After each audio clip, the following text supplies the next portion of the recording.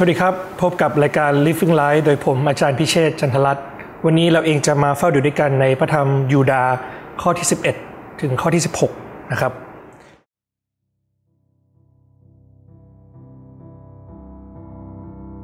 ยูดาบทที่หนึ่งข้อ 11 ถึง 16 วิบัติมีแก่พวกเขา เพราะเขาดำเนินตามทางของคาอิน และปล่อยตัวทำตามความผิดพลาดของบาลาอัม เพราะเห็นแก่ได้ ฉะนั้นจึงพินาศไปอย่างกบฏของโครา คนเหล่านี้เป็นพวกที่ทำให้งานเลี้ยงเชื่อมความรักสามัคคีของพวกท่านเสื่อมเสียไป ขณะที่พวกเขาร่วมกินเลี้ยงกับพวกท่าน โดยปราศจากความยำเกรง เขาเป็นผู้เลี้ยงแกะที่เลี้ยงแต่ตัวเอง เป็นเมฆที่ไม่มีน้ำที่ถูกพัดลอยไปตามลม เป็นต้นไม้ที่ไร้ผล ในฤดูที่ออกผล และตายมาสองหนแล้ว เพราะถูกถอนออกทั้งราก เป็นคลื่นรุนแรงในทะเลที่ซัดฟองแห่งความบัดสีของตนเองขึ้นมา เป็นดวงดาวที่พลัดออกไปนอกวงโคจร ความมืดมิดถูกสงวนไว้สำหรับพวกเขาตลอดกาลคนเหล่านี้แหละ ที่เอโนกซึ่งเป็นคนชั่วอายุที่เจ็ดนับจากอาดัมพยากรณ์ไว้ว่า นี่แน่องค์พระผู้เป็นเจ้ากำลังเสด็จมา พร้อมกับผู้บริสุทธิ์ของพระองค์นับเป็นหมื่นๆเพื่อทำการพิพากษาทุกคน และเพื่อทำให้คนอธรรมทุกคนสำนึกตัวถึงการอาธรรมทุกอย่าง ที่พวกเขาทำไปตามวิถีทางอธรรมนั้น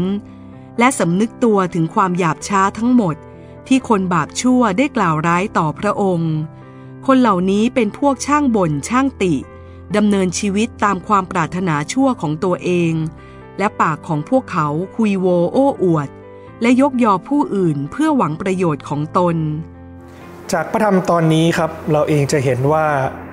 ท่านยูดาเองก็พยายามที่จะให้ผู้อ่านได้เห็นถึงลักษณะของผู้สอนผิดมากกว่า 10 ข้อที่ผ่านมา เพื่อที่จะทำให้ผู้อ่านนั้นเห็นถึงลักษณะของผู้สอนเท็จมากขึ้นกว่าเดิม ครั้งนี้ ฮันยูดาได้หยิบยกคนในพระสัญญาเดิมนะครับสามบุคคลด้วยกันนะครับ คนแรกคาอินนะครับคาอินมีใจที่อิจฉาน้องนะครับ ซึ่งเป็นภาพของคนที่อิจฉาขาดซึ่งความรัก และมากกว่านั้นลึกๆ ที่เราเองมองเห็นอยู่คือเขาเองไม่ได้ยำเกรงพระเจ้า เขาเองไม่พอใจที่พระเจ้ารับของถวายจากน้องมากกว่าของตัวเอง เขาเองอิจฉาน้องที่พระเจ้า พอพระทัยสิ่งที่น้องเขาถวายมากกว่าตัวเขาเอง เขาเองนำมาสู่การเกลียดชังและสุดท้ายนำมาซึ่งการฆ่าน้องตัวเองเพราะนี่คือสิ่งที่เราบอกว่าผู้สอนผิดเป็นอย่างนี้นะครับ คือ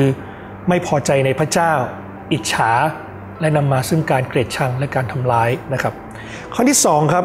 ก็คือบาลาอัมบาลาอัมเนี่ยเป็นคนที่เห็นแก่สินจ้างนะครับ เห็นแก่ประโยชน์ส่วนตัวนะครับ กลัวมนุษย์มากกว่ายำเกรงพระเจ้า ทำให้เขาเองที่จะเลือกที่จะอยู่ฝ่ายมนุษย์ มากกว่าที่จะเชื่อฟังพระเจ้า เป็นพระกรของพระเจ้าที่พระเจ้าทรงใช้นะครับ สุดท้ายพระเจ้าก็สอนเขาโดยการส่งลามาเตือนนะครับ นี่คือภาพที่เกิดขึ้น อันที่3ครับก็คือโคลานะครับกบฏโคลานะครับเขาเองได้เย่อหยิ่งจองหองนะครับเขาเองไม่ยอมเชื่อฟังในสิทธิอำนาจที่พระเจ้าให้กับโมเสสและก็อาโรนนะครับไม่ยอมรับคนที่พระเจ้าทรงเจิมไว้ นี่คือภาพทั้ง3ครับที่ ที่ยูดากำลังบอกว่านี่คือภาพของผู้สอนผิด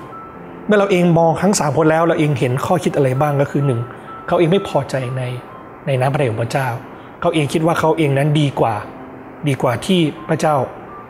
พระเจ้ามองเขาอยู่ เขาเองคิดว่าเขาเองควรจะได้สิ่งที่ควรจะได้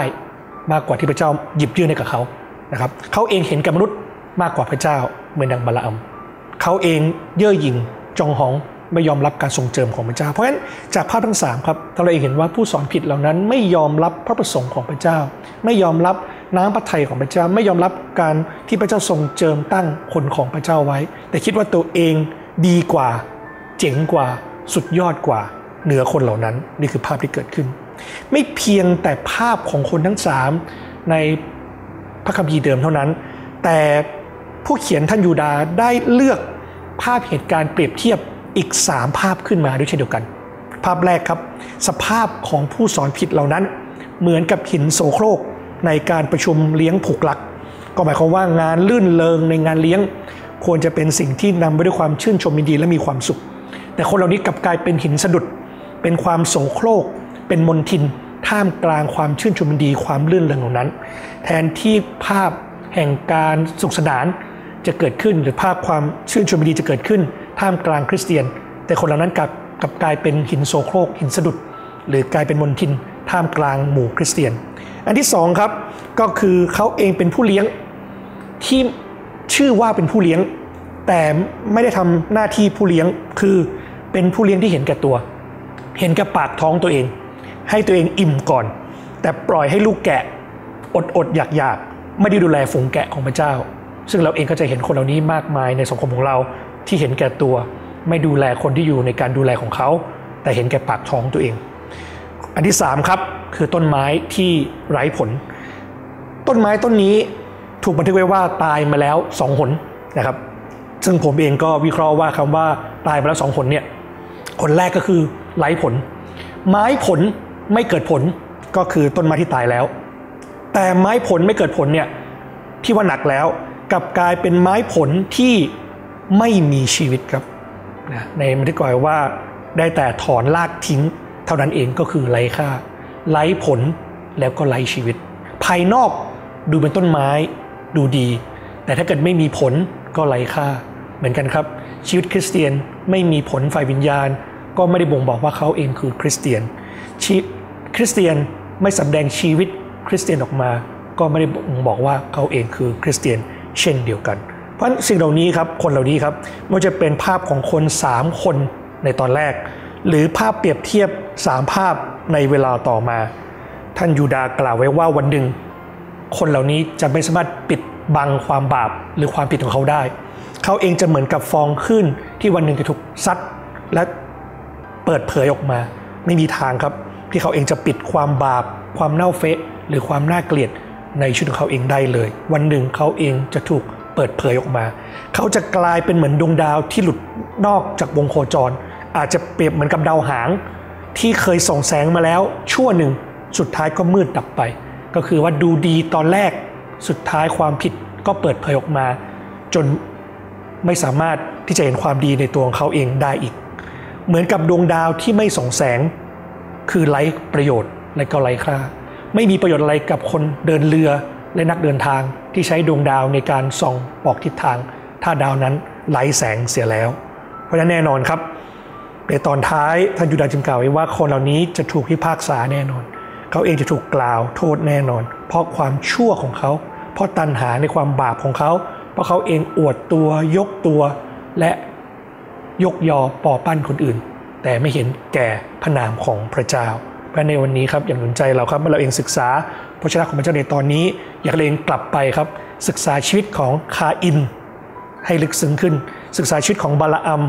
ให้ลึกซึ้งขึ้น ศึกษาชีวิตของโคลาให้ลึกซึ้งขึ้น และบอกตัวเราเองว่าขอพระเจ้าเมตตา เราจะไม่เป็นเหมือนสามคนนี้ในความคิดของเขาและมากกว่านั้นขอพระเจ้าเมตตาให้เราเองเห็นภาพเปรียบทั้งสามภาพ ที่เราเองรู้ว่าพระเจ้าไม่ปรารถนาเราเองเป็นหินสะดุด เป็นมนทินท่ามกลางพี่น้อง พระเจ้าไม่ต้องการให้เราเองเป็นคนเห็นแก่ตัว เห็นแก่ปากท้องตัวเอง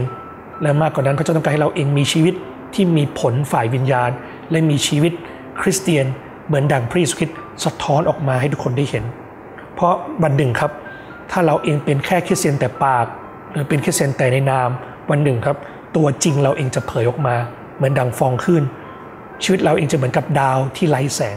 ขอพระเจ้าเมตตาครับ ให้เราเองระวังระวัยในการดำเนินชีวิตของเรา